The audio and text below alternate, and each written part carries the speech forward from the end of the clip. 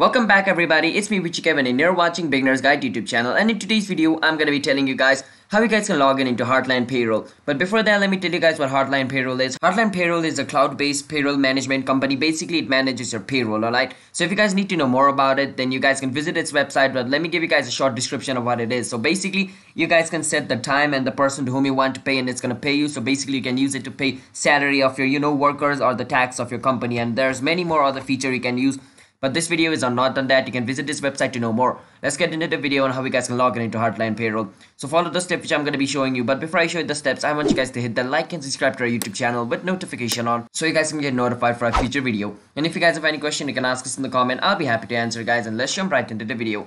So the first step is you want to go to your search engine and you want to search for Heartland Payroll. After you search for Heartland Payroll, you want to click on where it says Heartland Payroll over here. After you click on Heartland Payroll, it's going to take you to the official website of Heartland Payroll.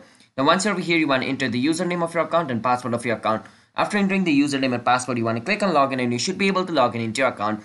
And if you guys are not able to log in into your account, then basically a username or a password is incorrect. So make sure to type the correct username and password and you should be able to log in into your account.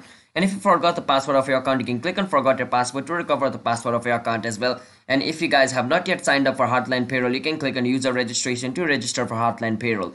So these are the way and how you guys can log in into Heartland Payroll. So hope you guys were able to understand the video. If you guys were then be sure to hit that like and subscribe to our YouTube channel with notification on so you guys can get notified for our future video. And if you guys have any question you can ask us in the comment. I'll be happy to answer you guys and I will see you guys in my next video. Bye bye until then.